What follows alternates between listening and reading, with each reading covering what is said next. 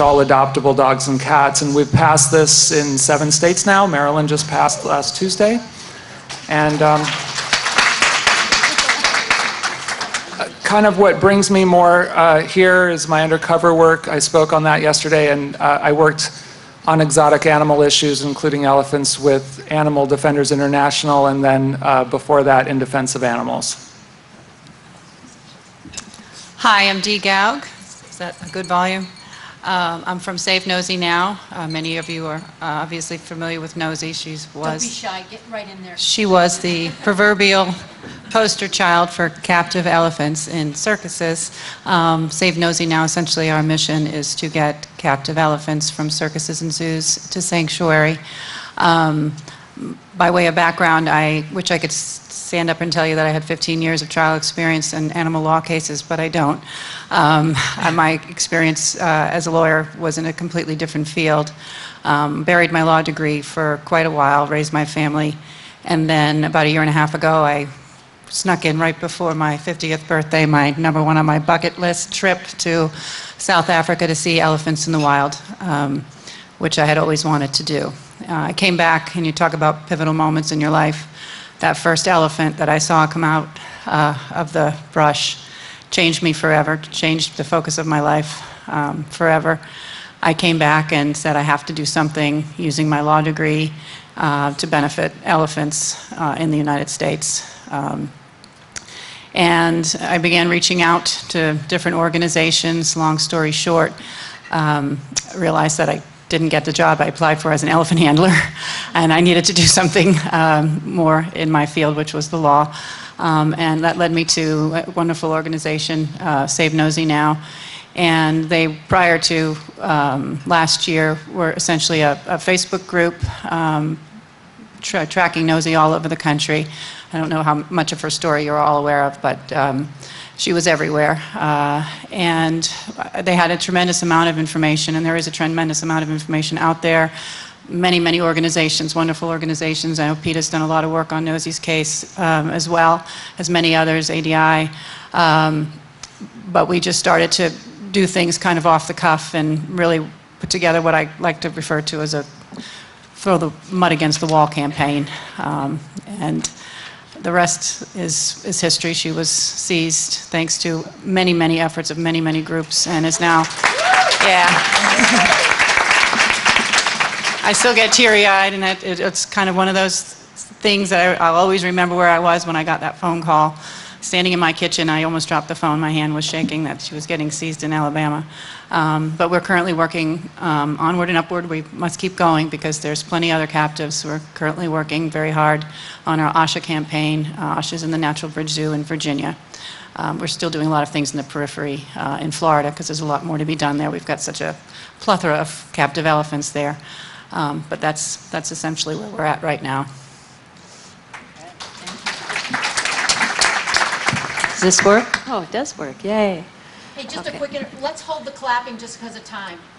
Oh, I want people to clap for me. What? What? yeah, yeah. So because of that, I'm going to keep it really short. So Catherine Doyle, Director of Science Research and Advocacy with the Performing Animal Welfare Society. We have three sanctuaries in California, and our largest is ARK 2000, where we care for eight elephants and big cats and bears. And our position is that no wild animal belongs in captivity. And, and we are captivity as well at the sanctuary. Sanctuary isn't the end all. These animals need to be protected where they live. So.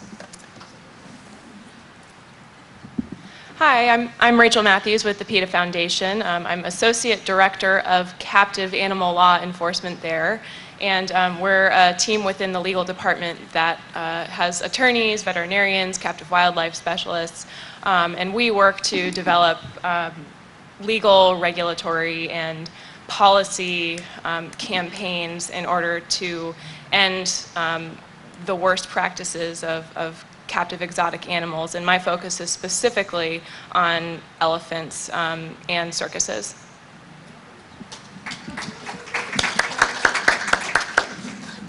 Hi, I'm Kiersten. Um, I am I am the co-founder of Elephant Guardians of Los Angeles, and we are uh, running the campaign to free Billy the elephant from the Los Angeles Zoo. And- thank you. And um, I'm also on the board of directors for the Kerulos Center um, with Gay Bradshaw. Um, I'm working on the project with her to open the All Bull Elephant Sanctuary. And I'm also a special education teacher with LAUSD in my free time. Um, uh, I have a really quick announcement. I asked Courtney if I could make this announcement, and I have her permission. We have started an international coalition to free Billy. Uh, we have a lot of signatories from all over the world. It's, it's a very simple statement, just urging the Los Angeles City Council to pass the motion that's currently before them, directing the zoo to release Billy to sanctuary and also to end captive elephant breeding in Los Angeles.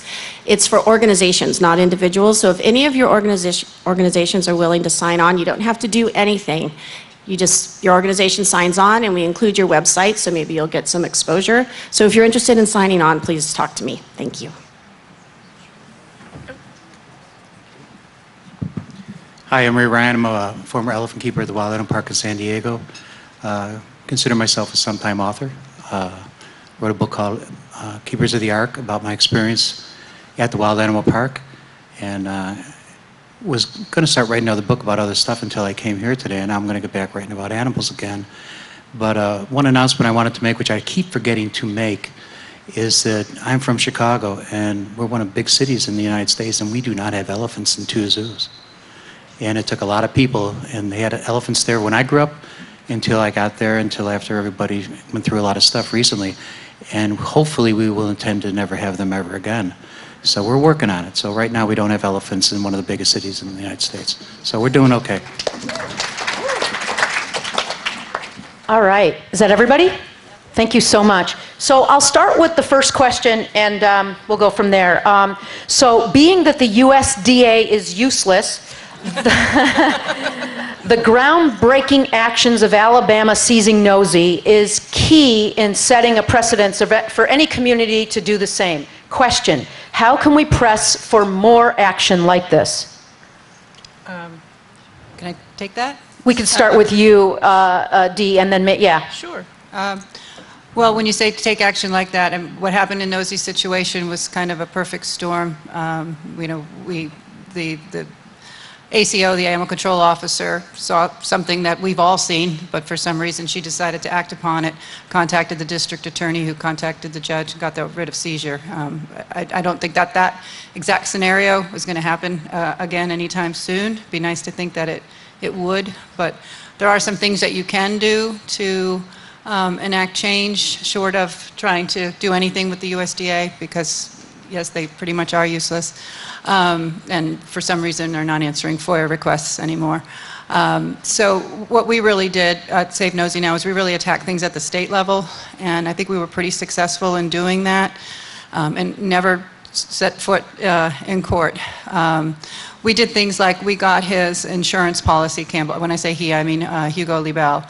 Um, And this was just simply by getting a a copy of his renewal application in the state of Florida, which he was required to have uh, in order to exhibit her in Florida. Um, we found out who his insurance company was. Um, and this kind of, I, I know we're on a time constraint, but this is something that everybody can do. And I'm not saying that this would be a great scenario for everybody or uh, proper situation, but just to try to think out of the box, think beyond um, the USDA. Yes, we have to do those things. Yes, we have to file submissions. Um, yes, we have to continue to make FOIA requests, and we have to lay groundwork for possible litigation somewhere down the line. But um, you know, in the in the immediate future, there's things that you can do. I, I was on a RV trip with my family, and I had the insurance company's phone number, and I said to my kids, pipe down in the back, I have to make a phone call. And I called, um, and I found out who the insurance agent was, and spoke to that person, took several phone calls, but all done in, a, in, in my car traveling. And I said, this is what's going on, and I'm sure that this is um, not in, um, you know, he's not comporting with what he, he agreed to in your, pol- in your liability policy. And he's basically sent me some information, and I did. And I emailed him everything, and within 24 hours, um, they issued a cancellation notice for his ins- liability insurance.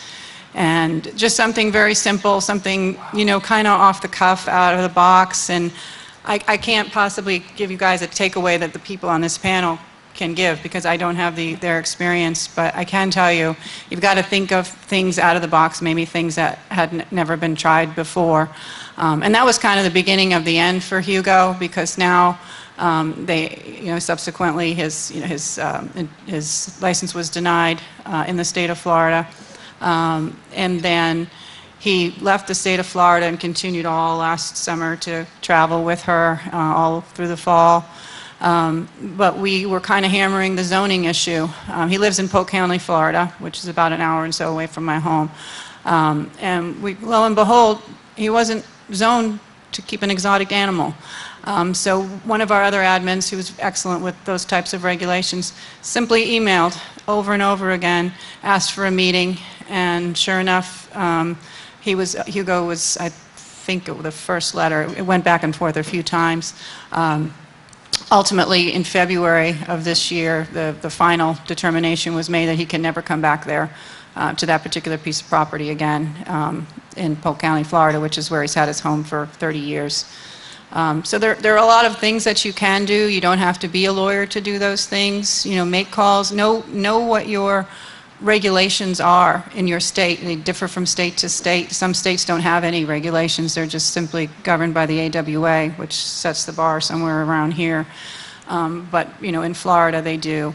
Um, In Virginia, our, our campaign now that we're in a coalition um, with, uh, working with IDAs uh, amongst others, um, we've got, you know, the, the Bible I have is the permit regulations from the state of Virginia. And I'm looking, going methodically through every single one of the requirements in order to get a permit. And we're right now in the fishing expedition um, portion of our uh, campaign, um, but we're starting to get our requests answered, and we're finding that, wow, they really don't have proof of insurance, that the Natural Bridge Zoo has liability insurance. You know, little things like that. Um, All of that information came just shortly before I came to this conference, so we haven't really had a chance to decide what we're going to do with that type of information. But, um, you know, find out exactly what you have to do to have a permit. Um, If you're looking to, to shut down a roadside zoo or a traveling circus, what, what do they need?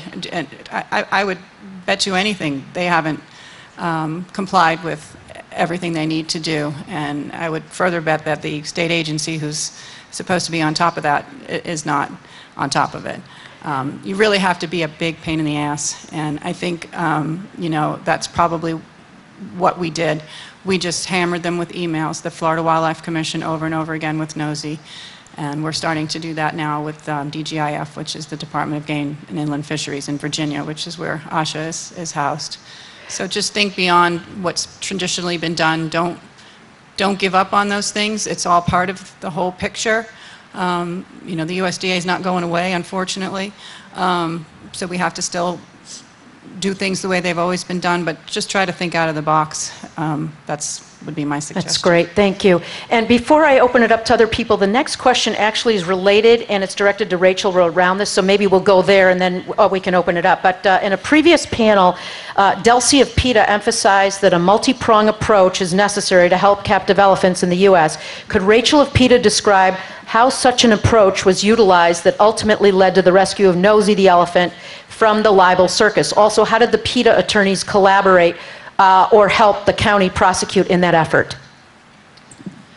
Sure. So um, our PETA's multi-prong approach, um, Dee touched on some of the, the kinds of things that PETA worked on as well. Um, but we not only looked at um, permitting in every single town or county or city or state that Liebel went to um, and appealed to permitting authorities.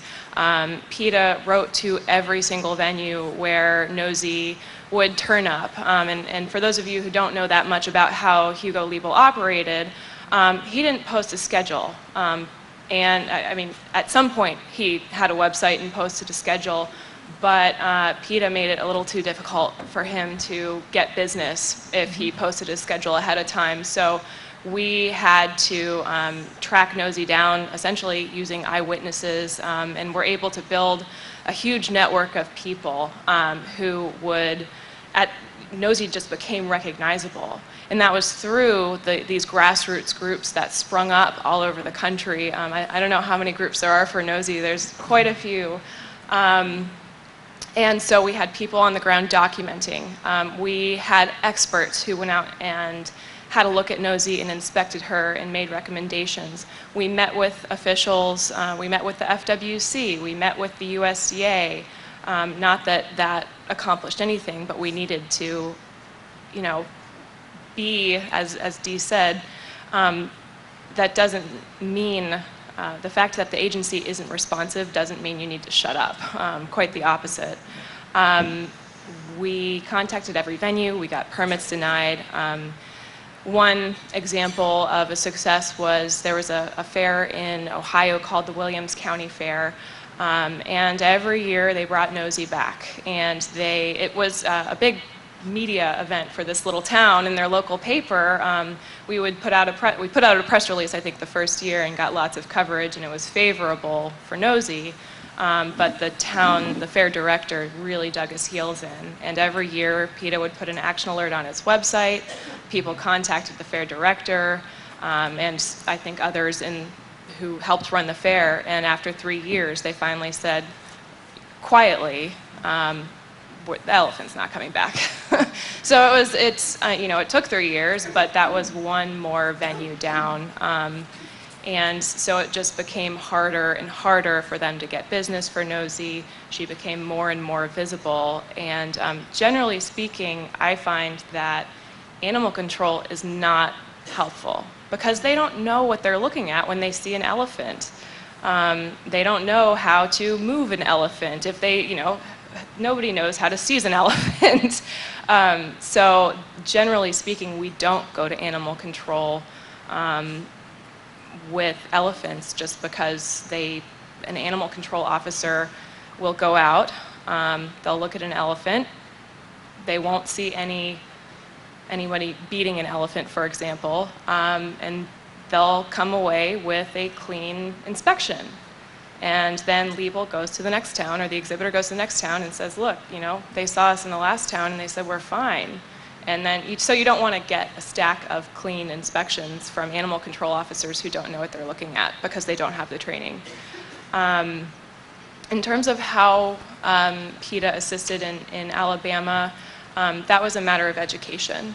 Um, that the prosecutor um, in Alabama also did not, you know, she, she needed to be educated. She needed to know what was important about elephants. She needed to know what was important about um, Nosey in particular and about the Liebels. And so that was just a, a very, um, we had a very short amount of time to bring this person up to speed on elephants. And so that was, that was the role that, that PETA had. Um, we helped educate.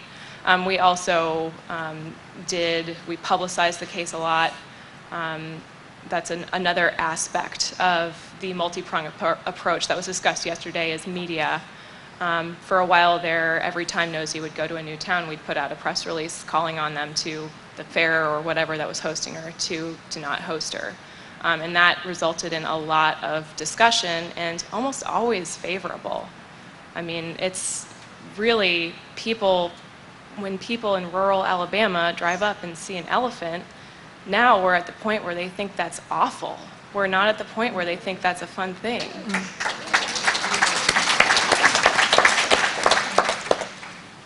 Does anybody else want to share on this subject? We have plenty more uh, questions, so there'll be plenty. I just make a comment about the USDA, uh, just real briefly, so people know how the zoos work, uh, coming from that experience.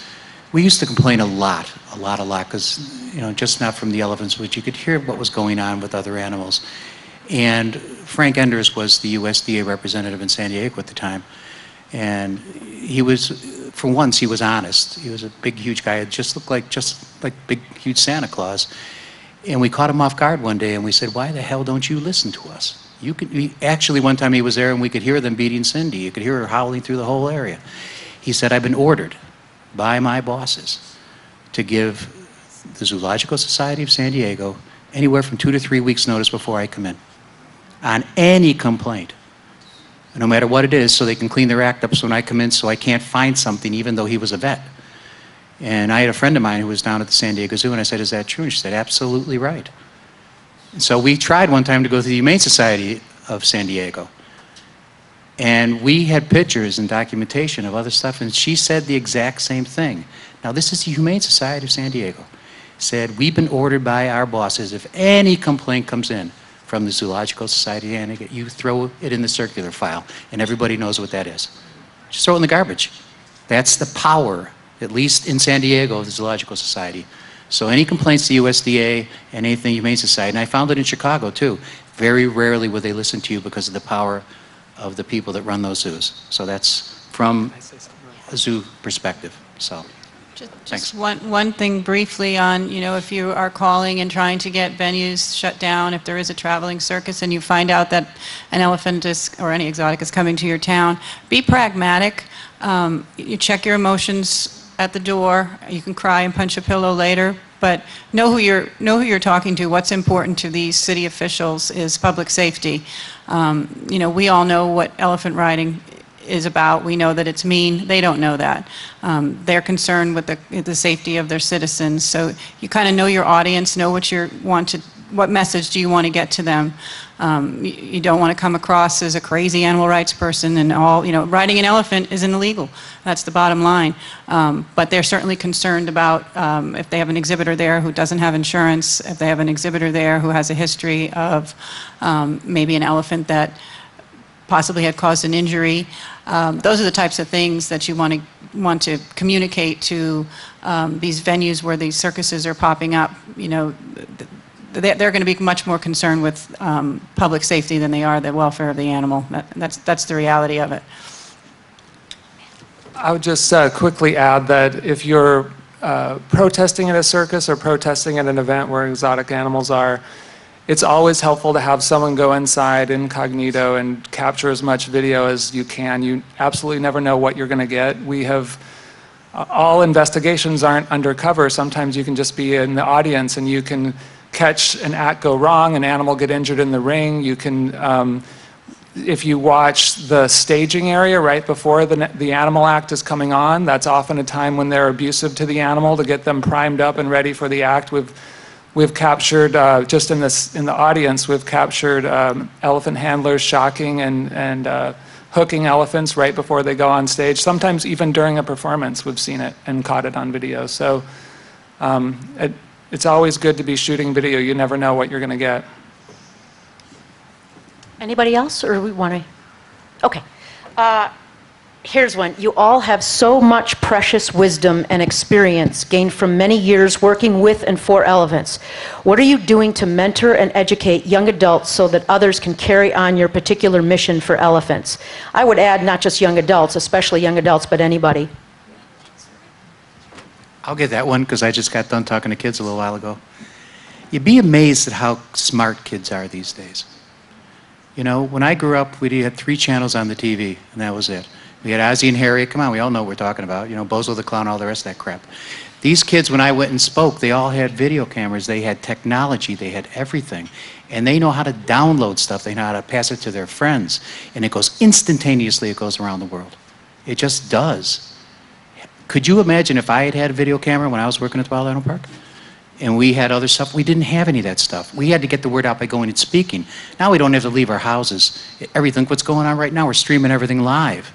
That's how instantaneous. And if you go to the kids, they listen because they know the difference. Sometimes go to a zoo and don't say a word. And stand behind some of the kids. You know what they all say 90% of the time? They look so sad. They don't look right. It doesn't look right. It doesn't look good. And my big thing with the kids when I go talk to anybody in Chicago, we have a huge natural history museum. We have the aquarium. We have everything.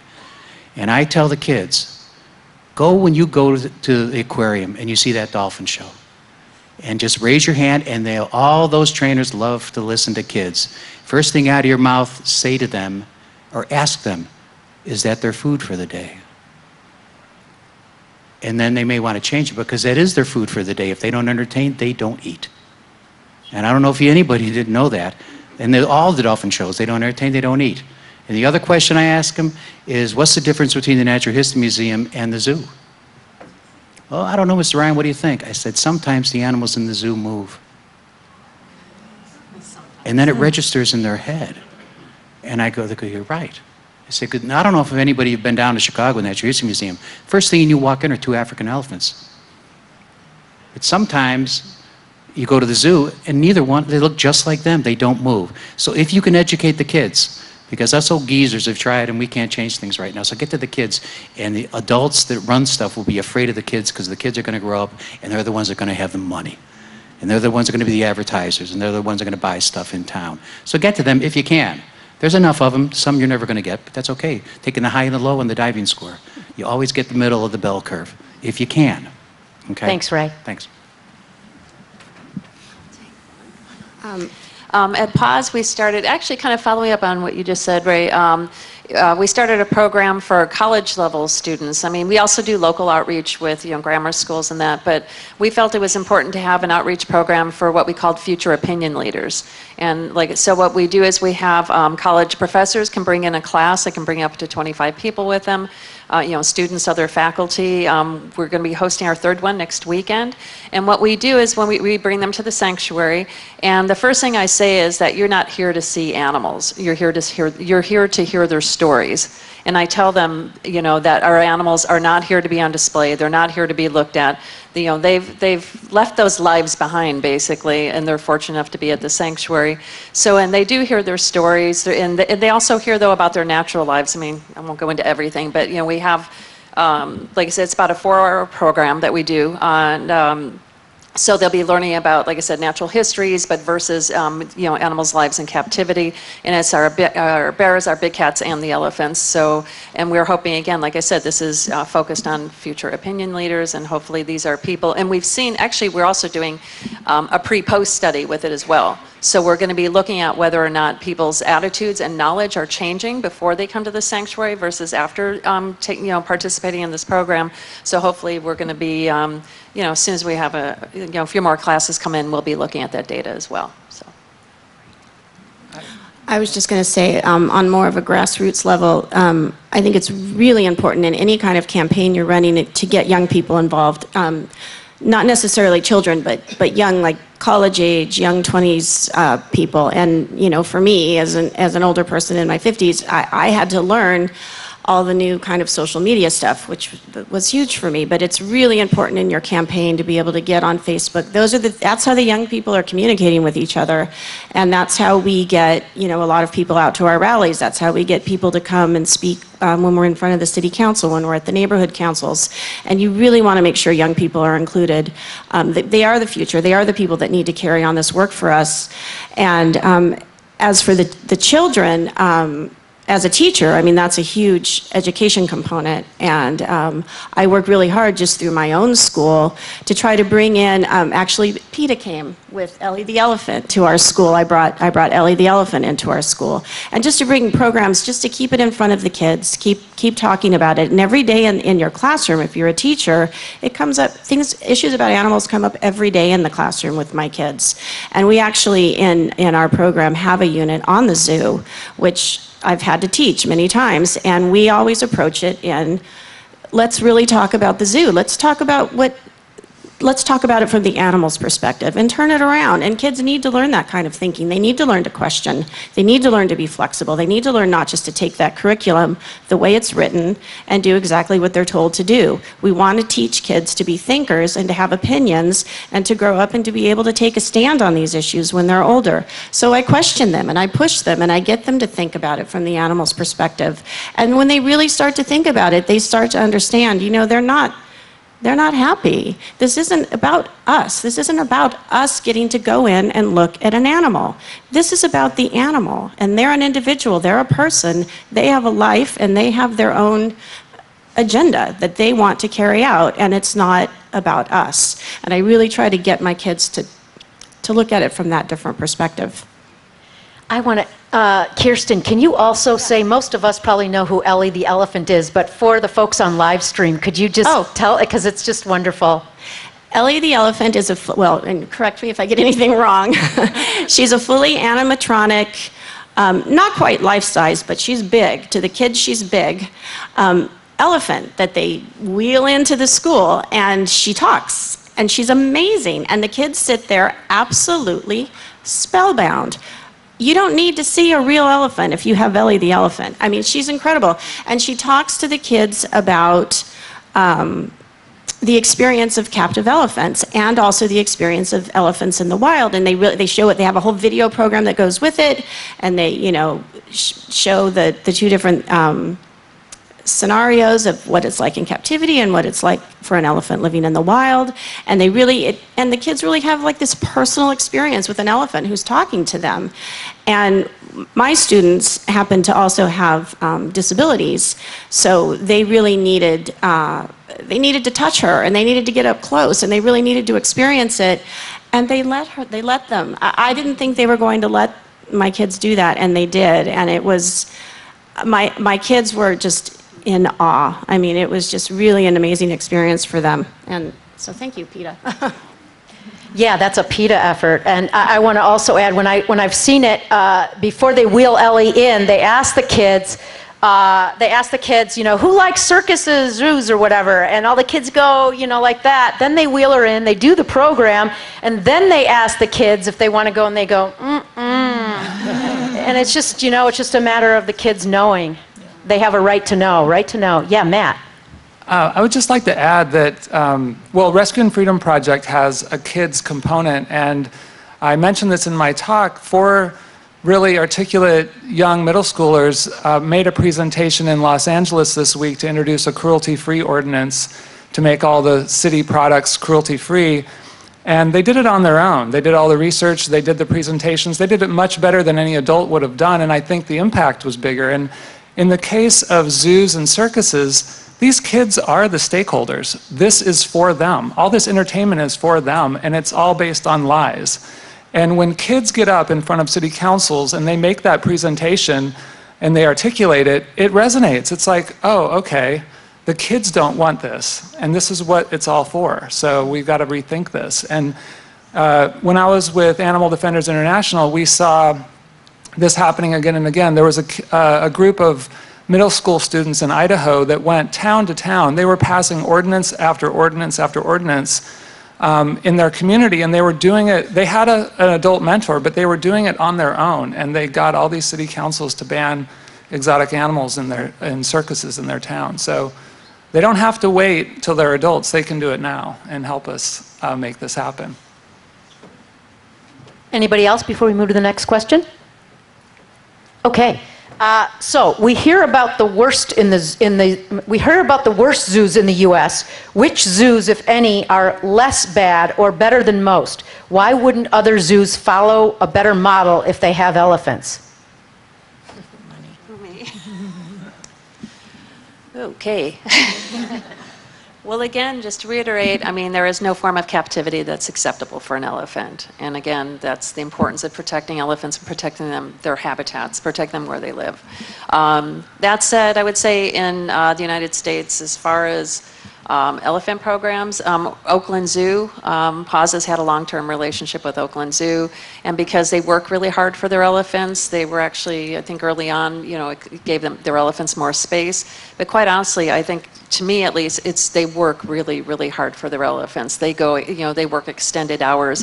They go out of their way to provide browse, you know, for their African elephants. And um, so we, we do respect their program. Also, I, you know, they were also trying to um, establish a facility that uh, would have been, you know, several thousand acres. Um, Unfortunately, they were going to breed elephants, which he didn't agree with, but otherwise it was not a bad idea to be able to, you know, for elephants that are already in captivity, to be able to give them more space, a more natural space, more complex, dynamic, changing space, um, you know, would have been a positive, of course, without the breeding. But um, I don't know. That's the only one that stands out to me, quite honestly. I mean, I think San Diego, they have really, you know, good veterinary program, and um, I, well, I don't. Except they're doing something right now that um, they're actually, they've received a permit, you can kick in on this one. They've received a permit to import a captive-born elephant from Australia. However, the elephant is not, he's young, what, he's about nine years old, on guard? I think he's nine, yeah. And um, so uh, he's not going to San Diego, though. He's going to be going to Zoo Miami. So for whatever reason, um, it was accepted. Fish and Wildlife um, is going to issue the permit, you know, and uh, even though it, I mean, Zoo Miami should have applied for the permit, and plus there's a lot of I mean, I don't want to go on too long, but there, I mean, there was a lot that was wrong with the permit too. I mean, claiming that he was going to be living with a herd and living, you know, what else did they say in there? Just, here, should- yeah. Here. We can tag team on this one. So in this particular case, um, San Diego Zoo has entered into Rachel, a little le- closer to the mic. San Diego Zoo has entered into a long-term agreement with, I believe it's Zoos Melbourne. Um, It's a a Zoos zoo- Victoria. Zoos Victoria. It's a zoo association in Australia. And the agreement says um, that the two, San Diego and this other entity, will collaborate to identify their um, elephants who are not needed in their SSP. And then they'll trade. And so this is the first that we know of, the first um, elephant who's going to be imported as a part of that deal. San Diego's acting as a broker. Um, It's not, as far as we can, at least in this case, it's not getting an elephant. Um, It is just facilitating. Um, And talk about, if we're talking about the amount of money, um, I think that in the, the permit application, it actually showed that it was something like, they were going to spend something like $100,000 just on the transport. That's, you know, that's just the flight in. Um, And, you know, think about how far that could be going towards actual conservation. And the justification for these kinds of permits is conservation. Um, And I, I would encourage anybody who's really interested in, in um, combating zoo breeding um, and more imports of elephants is to watch the Federal Register closely. And these permit applications are typically um, available online at a website called regulations.gov. Um, So in the Federal Register, they publish notice of a permit, and you have 30 days to comment, usually. Um, And all of that permit information is available online. And you get um, a lot of important information from that. So one example would be, um, there was a copy of the AZA's, SSP's um, Asian elephant breeding plan in there, the whole thing. And it's, it says right there in, in the Zoo Association's own words that um, elephant breeding isn't sustainable. And so um, they're going to keep trying and keep trying and keep trying. Yeah, so outside of that, um, but otherwise, I mean, I do have to say though, San Diego has uh, uh, the very, their veterinary program is exemplary. Um, And also, I mean, I've met keepers from San Diego. They're very, very strong on protected contact and, you know, just positive reinforcement training with their elephants. And I respect that as well there. So I- just want to be, be, to be fair about things, you know? All right, I got to say something.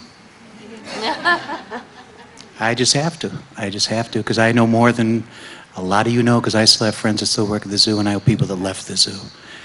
So first things first, when we talk about exemplary care of elephants at the Wild Animal Park and the San Diego Zoological Society, okay, is when my Ellies were shipped to Lincoln Park and they brought in the first Swazi animals from Africa, the guy that was brought in to take care of the elephants had never touched an elephant in his life. Okay, let's start there. I've been down to the zoo recently, a few years ago, and talked to the people. Most of them had never been around elephants before. They didn't know what the hell they were doing. So I want to tell you something, and maybe it's my paranoia growing up in Chicago and growing up in a state where four of the governors have gone to prison because of corruption.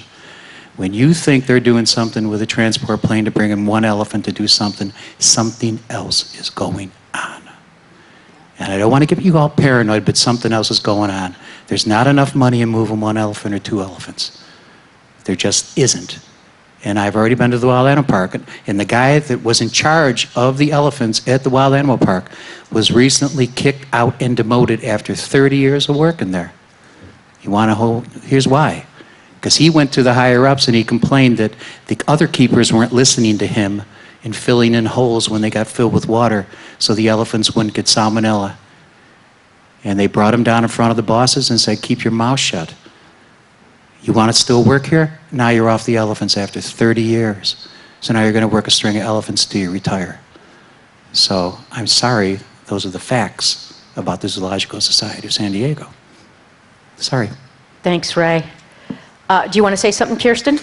Yeah, please. Really quick about the Los Angeles Zoo. Um, The Los Angeles Zoo is considered by the AZA to be one of their model, state-of-the-art, top-of-the-line elephant exhibit. Eject them, if we shut down that exhibit, they'll go right back to San Diego or to another zoo. Um, Shaunzi was brought in because her longtime partner at Fresno Chaffee recently passed away, so she was alone there, so they had to move her. So they shipped her in to LA because AZA is completely focused on the Los Angeles Zoo right now, and they're fighting us tooth and nail, and they're doing everything they can. Uh, so they brought Shaunzi in. Um, they, they want to bring 11 elephants into that exhibit, by the way. That exhibit, that tiny exhibit, is built to hold 11 elephants. So they're bringing them in from wherever they can get them. They're bringing them in, and they want to bring in breeding age. Um, So anyways, we don't have jurisdiction over Shaunzi either, so she would be shipped out to another zoo. Um, We initially, what our push, when we first started lobbying the city council on this second reincarnation, that's, there's a lot of history to the Billy campaign, as Catherine can tell you. A very, very years-long history. So this is kind of the second reincarnation, I just, to make that clear. We had, we had big shoulders to stand on. So um, anyways, uh, when we first started this push, we wanted the city, we wanted the, the emotion to shut down the elephant exhibit, just shut it down. We just, we don't even need elephants in the zoo, let's shut it down. And uh, we had long discussions with the council member's office before this even, you know, became public. And what, from all of their, you know, the, the council members that we had working with us, from their research into what was going on politically in the city, they said that is just not going to happen right now. We will never get that through. We've got to start with something we can do. I think someone was talking about, you know, small steps, not perfection, which for someone like me, you know, that, that was a hard pill to swallow. It was hard, and I resisted it for a long time. And I, they were right. They were right, and I, I- they, I know they did the right thing, but, um, if, I mean, it would have been dead in the water if we had tried to shut down the whole thing. So, um, uh, did I answer your question? I'm sorry. I kind of went off on something else. Anyways, thank you. I just want to add, too, there's other aspects to that motion as well, because it also would stop breeding at the LA Zoo, which is hugely, hugely important. I think if there's any other points that I would bring up, again, that I kind of missed in my presentation yesterday, it would be the importance of um, trying to stop breeding programs, which is really difficult because those babies bring in revenue, they bring in visitors.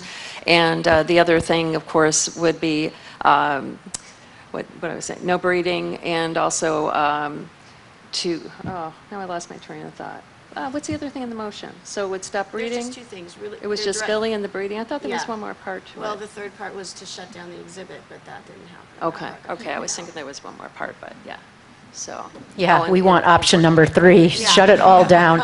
For those of, you know, most of you know, but on live stream, the Oregon Zoo here, and I'm not an expert, many people in this room are, but they got, you know, like 50-some million in taxpayers' money to improve the elephant enclosure, and it's just, it's just a bigger sand lot with a lot of beautiful, you know, Pacific Northwest shrub, you know, landscape around it for the, it's great for the, for the tourists, but it's not much different for the elephants. You know, we don't want better cages, right? Okay, uh, thank you guys. So how about this one? Does the involvement of public figures such as actors and musicians assist the cause of change for captive elephants? I mean, we did. Absolutely. Yes. I mean, if Closer, you- Rachel. Sure.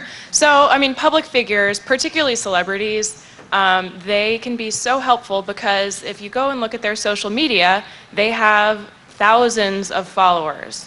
So that's a very, if you're able to get a celebrity um, to support your campaign, and that's not an easy thing to do um, because that involves developing relationships, um, finding the right issue for the right person because everybody's got their pet issues. Um, but that is a way to get your message into celebrity press. So that's, you know, uh, newspapers like TMZ, where you're not expecting there to see animal issues. That's a way to get your animal issue in front of that audience. Um, and then just social media is so powerful. Um, to if you have a celebrity, just even retweet your organization's tweet. I mean, that is just a way to exponentially expand the reach of your message. So yeah, it's absolutely helpful. Anybody else? Like, we have many other questions. I, but I would, I would totally agree with that and just say if you're um, looking for the right celebrity, there's obviously the go-to celebrities you can Google and see who have spoken up on a certain issue, but also look in your own community. If you're looking at your local zoo, are there any celebrities that are from your state or from your city or, you know, somehow connected to your community that you could reach out to on an issue? Can someone tell me what our hard stop time is? Okay, we'll go until, Uh, is that a question? Okay, yeah. celebrities in LA, like with you three being in LA specific, how is these zoos still open? Yeah, I'll just say, with all the celebrities in Los Angeles, how is it that like Free Billy, I know that Cher and Lily Tomlin, how is it? Do you want to take that? Um, Well, it gets you attention, it gets media attention, for sure, because, well, there was that recent meeting, uh, what Cher came out to, and who came out, who else? Tomlin. Yeah, Lily Tomlin, of course, Lily's been fantastic on elephant issues, she's was there, amazing. he was on the He's on the other side, He's on the yeah. other he's- side. yeah. But, um, but I would say, I don't, you know, I, I don't know, sometimes it depends. There's like some municipalities you can go into where they're a little more impressed by a celebrity, and I think in LA, quite honestly, you know, it'll draw the media Yeah. attention, but after that, it's kind of, yeah, I don't think it affects the council members quite as much. No. Yeah. No, it doesn't. Yeah. And I think, I think your question was, how can the zoo still be open, right? But there's huge support for the zoo in Los Angeles, even included among the celebrities. Um, Betty White, huge zoo supporter. Huge, yeah. Don't think she's an animal person. No, she comes, she's, she is at, she comes to the LA Zoo and does promotion for them all the time. She loves the zoo. She wants to be able to go and see all her little animals that she loves in the zoo. Um, Slash from Guns N' Roses comes out and testifies for the zoo at city council meetings. Um, it's, it, Los Angeles feels very strongly about their zoo, and it's, um, it's, it's a real, it's a real battle. I mean, even just going out to neighborhood council meetings, we, our city's divided into about 100 boroughs, with, and each one has a neighborhood council that's under the city council, and we go out and testify over and over again. And the zoo comes out, and they bring all these people out, and they parade all these people in to give public comments supporting the zoo, from little children to grandmothers, and it's all about we want our zoo, we want to go to the zoo, we want to see the animals, and that's why it stays open. Though I will say, just to add something, I mean, I think because of the work that's been done there for so many years about elephants in Los Angeles, I think, let's put it this way, I mean, having Slash as one of their celebrities is like, yeah. They haven't really gotten great celebrities, but, and Betty White's been with them forever. In fact, she used to walk with the elephant Gita, and Gita had like, oh, horrific foot problems, you know, foot rot and, and arthritis, and yet, and, and they'd be walking Gita um, before the zoo was open. They'd be walking her with a bull hook, and Betty White would walk with her, and that was one of her favorite things to do. So, just throw that out there. Um, So here's a question I'm very interested in. I didn't ask it, but uh, hopefully some people here know about it. Um, Please discuss the King Amendment. Does anybody here have any knowledge of it? Does anybody, I, I- okay, so very quickly, the, yeah, and then I want you to really, uh, it's, uh, it's an amendment that could potentially wipe out many of the, like the fur ban in San Francisco, many of the animal bills that have been passed. It could potentially, I think, on a national level, wipe them out, or, so go, uh, I can't remember your name, I remember you. What is it? Tira. Tira, yeah. It's a weird bill. Here, why don't you come up here? Because I want uh, the live stream to hear. Okay, it's a, it's a weird bill, and correct me, there's a room full of lawyers, so if I'm missing something, let me know. But there is a amendment by a Republican senator from, I believe, Iowa, called the King Amendment. And it's a line item, a paragraph, an amendment to the Farm Bill. The Farm Bill has been going through process in the federal government for years, as I understand it, two, three years. And so everybody wants to get this flippin' farm bill signed and off their desks. Well, they snuck in this amendment, and what it is is a massive case of federal overreach. And the rules state that the federal government, in the rule, it- it predominantly relates to animals, agriculture, chickens, and things like that.